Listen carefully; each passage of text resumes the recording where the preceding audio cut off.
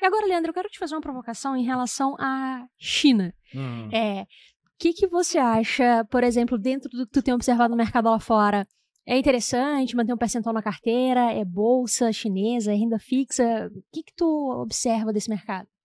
Bom, é, tem aí dois corações em relação a isso, porque por um lado, a China é super relevante para a economia global, né?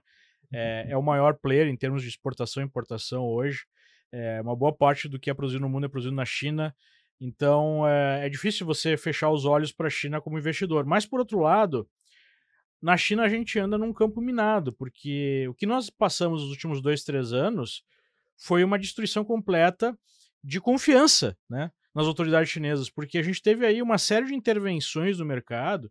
Eu não estou falando aqui nem na questão da pandemia, mas intervenções nas grandes empresas chinesas que destruiu o valor. A maior empresa chinesa, que é meio que a Amazon chinesa, né, que é a Alibaba, é, perdeu aí 70%, 80% do seu valor. Por quê?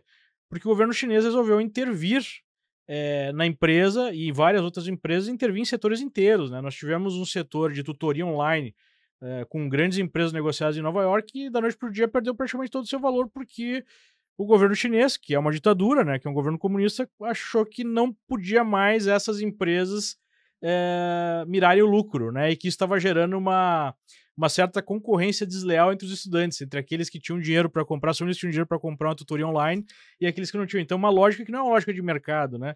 Então, você fica assim, né? Poxa, eu preciso ter uma exposição em China, mas ao mesmo tempo é, você tem essas caneladas aí das autoridades chinesas no mercado.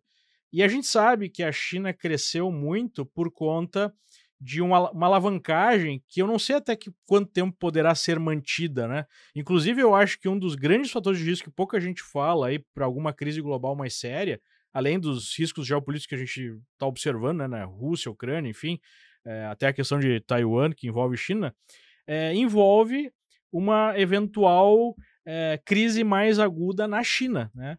É, porque para mim é uma coisa assim que não faz muito sentido você ter a base monetária chinesa, se a gente for levar em consideração reservas, né? Diminuindo aí 60%, 70% nos últimos anos e o câmbio se mantendo mais ou menos igual. Tem alguma coisa errada aí, né?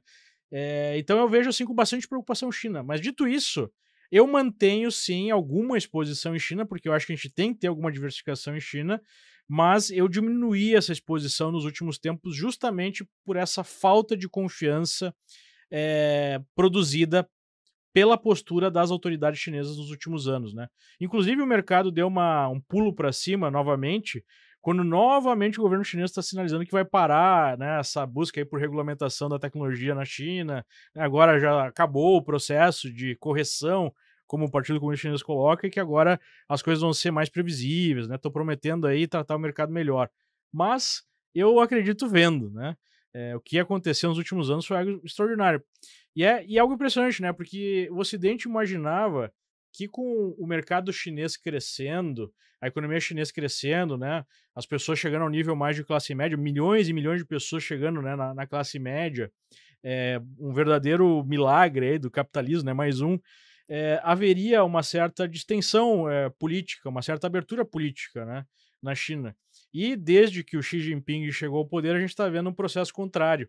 E eu acho que isso vai acabar limitando o próprio crescimento chinês, né? Porque a gente sabe que num determinado momento, se você, ao invés de ter mais abertura política para as pessoas serem mais livres, né, e, e, de forma institucional também você ter mais segurança, você tem um processo contrário, é, isso vai, é, já está, né, na verdade, prejudicando o próprio crescimento chinês. Então, é, eu, eu tenho assim, muitas preocupações em relação à China, mas tenho alguma coisa por conta do tamanho do país, né? Mas eu sou, eu sou bem cético em relação à China. E aí, pessoal, Sabe na área. Gostaram desse corte do almoço grátis? Bom, para ficar ligado em todos os episódios do programa, faça sua inscrição aqui no YouTube. Assim você vai ser notificado sempre que houver um episódio novo, além de ficar por dentro de todos os conteúdos sobre o mercado financeiro que nós publicamos lá. Lembre-se, o conhecimento liberta.